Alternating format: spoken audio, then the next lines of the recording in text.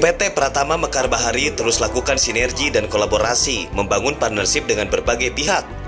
Hal ini dilakukan untuk percepatan optimalisasi usaha perikanan di Indonesia.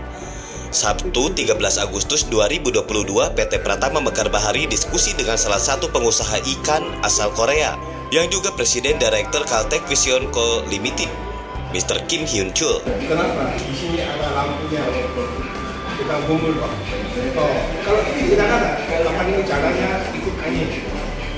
Tapi kalau ini ada, dia ikut airnya.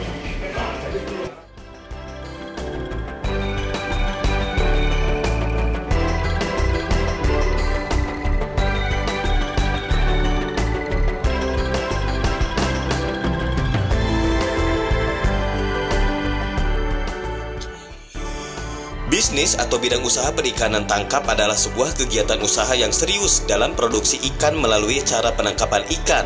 Hal ini bisa ditinjau berdasarkan bidang usaha yang dijalankan oleh nelayan atau rakyat yang tinggal di daerah pesisir pantai. Bapak Sakti Wahyu Trenggono, Menteri Kelautan dan Perikanan Republik Indonesia memberikan kemudahan kepada para pengusaha ikan untuk mengembangkan usahanya.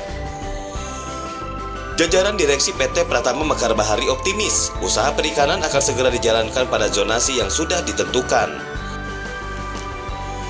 Presiden Direktur PT Pratama Mekar Bahari Bapak Ishak Januarsyah mengatakan sampai hari ini Sabtu 13 Agustus 2022 sudah masuk beberapa kapal yang akan segera diurus perizinannya.